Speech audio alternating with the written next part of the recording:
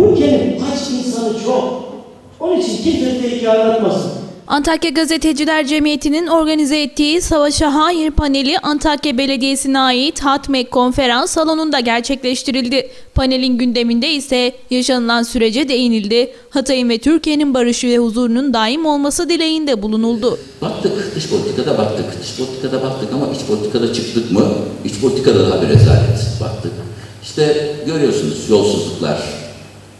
Her Allah'ın günü bir kaset çıkıyor. Nelere şahit oluyoruz, neleri duyuyoruz. Antakya Gazeteciler Cemiyeti'nin düzenlediği Savaşa Hayır panelinde Milliyetçi Hareket Partisi Antakya Belediye Başkanı adayı Feda Yücedal, Atatürkçü Düşünce Derneği Hatay İl Başkanı Kezban Kuran, Milliyetçi Hareket Partisi İl Kadınlar Kolu Başkanı Dilaver Er Yılmaz ve birçok vatandaş katılım gösterirken ayrıca Halk TV'den İsmail Dükel, Bengü Türk TV'den Metin Özkan ile Antakyalı gazeteci Fatih Ertürk de konuşmacı olarak katıldı. Bir ülkenin sınır kapısı, demin İsmail anlattı.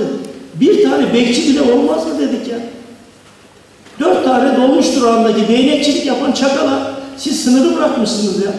Böyle bir şey var mı? Hangi barıştan bahsediyorsunuz? Hangi ülke güvenliğinde? Hangi sıfır sorundan? Hangi itibarlı dış politikadan bahsediyorsunuz? Panelin açılış konuşmasını yapan Antakya Gazeteciler Cemiyeti Başkanı Ahmet Abdullahoğlu, farklı görüşlere sahip insanları bir araya getirdik. Komşu ülke Suriye'de çok kirli bir savaş var. Bu savaşlar niye yapılıyor? Suriye'de yaşananlar Müslümanlıkla bağdaşmıyor dedi. Şimdi biz bu Suriye'yi bu denli özellikle özellikle Müslümanlık adı altında hiç alakası yok.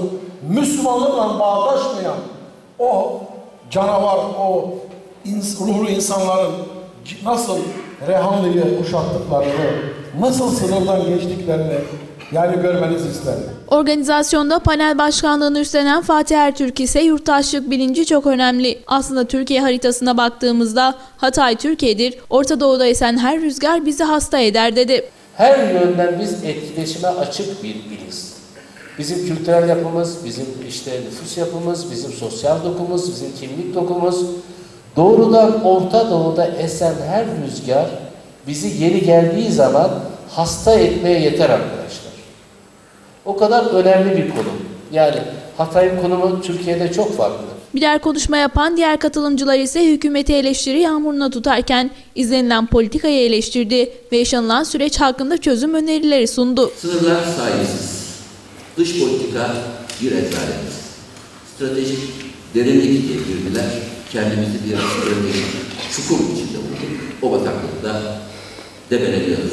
eleştiriye, e, tenkide hiçbir şekilde tahammülü olmayan bir iktidarın e, toplumu birbiriyle barıştırmadan sen Alevisin, sen Sünnisin, sen Kürtsün, sen Türksün, sen Çerkessin, sen bilmem nesin diyerek fişlediği bir ülkede kendi içimizde barışı sağlayamadığımız sürece kimse kusura bakmasın. Barışı anlatmaya kalksak ne olur yani? Biz size bilmediğiniz bir şey anlatmıyoruz ki.